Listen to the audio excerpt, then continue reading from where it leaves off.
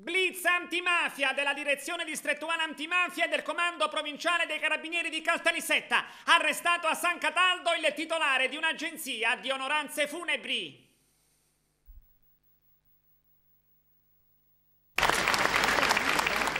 I morti anche tuoi, ma le bare e le corone di fiori mie. Il presunto racket del caro è estinto. Sarebbe dilagato come la chiazza di petrolio del fiume Lambro lungo il Po se i carabinieri del comando provinciale di Caltanissetta non fossero intervenuti in tempo. Infatti, lui è Diego Calì, inteso Dino, ha 57 anni ed è di San Cataldo. È stato arrestato, risponde di associazione mafiosa e detenzione di armi.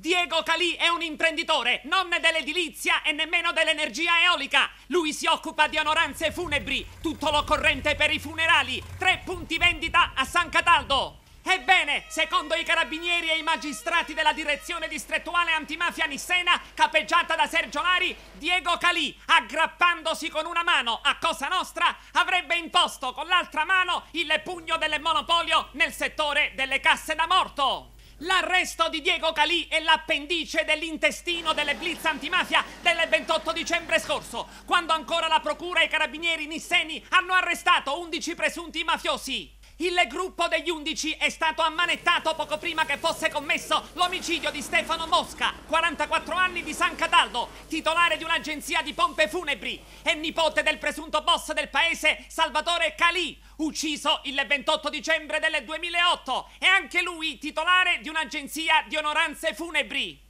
Il blitz del 28 dicembre 2009 ha svelato un arsenale di armi e munizioni. Eccolo nella foto. Nascosto qui a Sommatino, in contrada Mintina, nel casolare di campagna dei pastori Gioacchino e Salvatore Mastro Simone. I due sono stati arrestati insieme al presunto capo clan Cosimo Di Forte di San Cataldo, poi Patrizio Calabrò di Sommatino, Liborio Gianluca Pillitteri di Sommatino, Enzo Mancuso di Canicattì, Maria Indorato di Sommatino, Giuseppe Taverna di Barrafranca, Salvatore Lombardo di Marianopoli, Calogero Ferrara di San Cataldo e Agata Cianci di Sommatino, moglie di Salvatore Mastro Simone.